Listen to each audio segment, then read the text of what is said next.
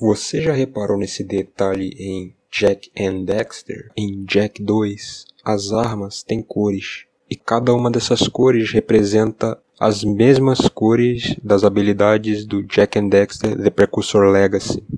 Head Echo é uma habilidade que te dá uma super força. Basicamente, o ponto forte dela é ataque a curta distância.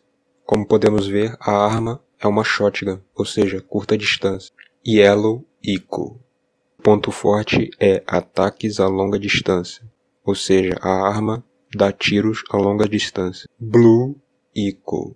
O ponto forte é a velocidade e a arma é uma metralhadora. Dark Echo. Ele é encontrado em caixas e cristais explosivos. A arma, ela se forma uma bolota que explode nos inimigos.